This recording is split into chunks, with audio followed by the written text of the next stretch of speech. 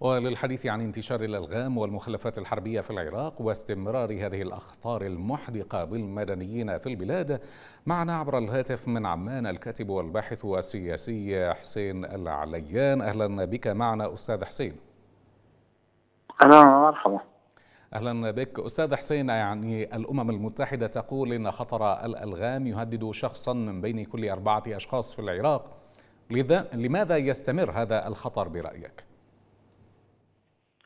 يعني هو هذا تصريح عذر أقبح من ذنب لأنه منظمات الأمم المتحدة الرديفة وهي المسؤولة أصلا عن نزع الألغام في العراق.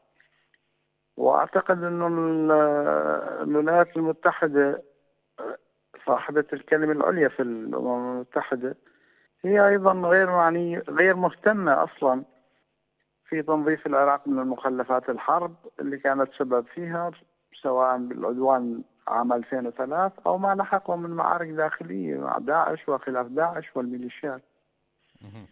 وبالتالي لا أحد يهتم في المواطن العراقي في المحصلة النهائية لا في الداخل ولا في الخارج.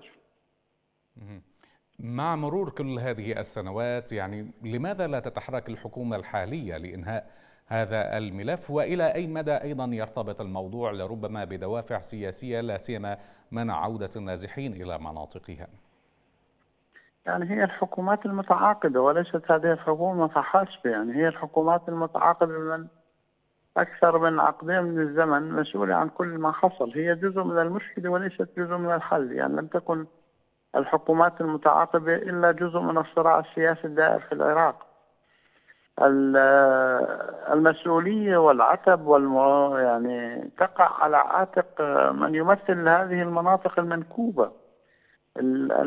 يعني من يتصدر المشهد اليوم باسم طائفة سين ولا المنطقة سين أو المنطقة صاد هو الذي يتوجه في الإعلام صباحا ومساء بقصص المهجرين ويتاجر بدماء المهجرين لزيادة أرصدته السياسية والمالية ليس إلا. قبل أن تتحدث عن الحكومة اليوم في العراق حكومات وليست حكومة واحدة يعني.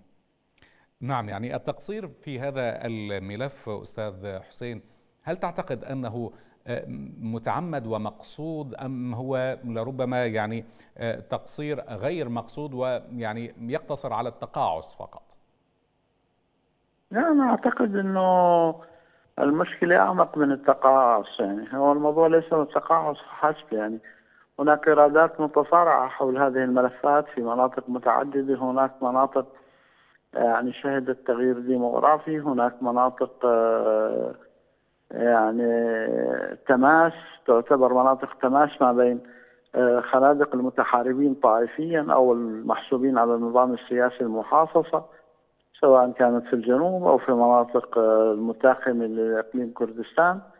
يعني هناك صراعات تعرقل هذا الموضوع بالإضافة إلى أنه معاناة المهجرين أصبحت يعني ورقة سياسية تستخدم في بازار المكاسب وبازار يعني تداول ما بين شركاء النظام السياسي. سواء يعني صارت ورقة حتى لدول الإقليم أنت تعرف قضايا المهجرين في المنطقة صارت آه، بازار للضغط السياسي من جهة والتجارة يعني البازار التجاري من جهة أخرى.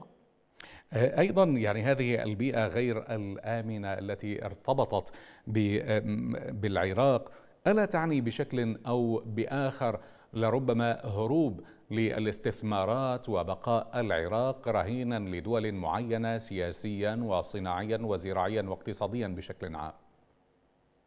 وهذا المطلوب في المحصله النهائيه، لا أحد يريد العراق أن يستقر أو أن أن تتطور فيه الاستثمارات، يعني العراق آخر بلد ممكن يفكر فيه الاستثمار.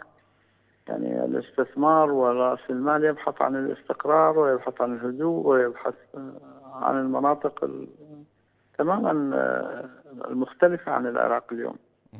العراق اليوم فيه أبشع حكومة فاسدة في العالم وفي نظام سياسي فاسد برمته. يعني هنا ليس لدينا هناك فساد آه، إداري محدود يمكن معالجته كما في باقي الدول الأخرى. يعني البلد مستباح وهي أكبر فساد للقاصي والداني. وبالتالي النخب السياسية الموجودة في العراق هي عبارة عن آه، يعني أراجوزات تحرك من هنا ومن هناك. يعني هون شكل النظام السياسي في بغداد آه، هو انعكاس لتعقيدات المشهد الإقليمي والدولي. عفوا. بالنسبة لتبعات وجود هذه الألغام وعدم إزالتها لربما نتحدث هنا عن آه، المشاكل والتبعات الآنية في الوقت الراهن. ولكن ماذا عن آه، يعني آه، على المدى البعيد ما هي تبعات وجود مثل هذه الألغام والمخلفات الحربية على مستقبل العراقيين وعلى أطفالهم أيضا؟ يعني هي نكبات تتوالى على شعب العراق. والأبرياء من شعب العراق. يعني والمواطن باستمرار هو ضحية وهو من يتحمل العبء الأكبر عن ممار... عن هذه الممارسات والألغام جزء ما يعني جزء محدود من تلك المشكلات التي يعاني منها المواطن في العراق. بالتأكيد هو يعني من سيدفع الثمن في البداية وفي النهاية هذا المواطن العراقي. نعم. إذا كنت ضيفا عبر الهاتف من عمان الكاتب والباحث السياسي حسين العليان شكرا جزيلا لك.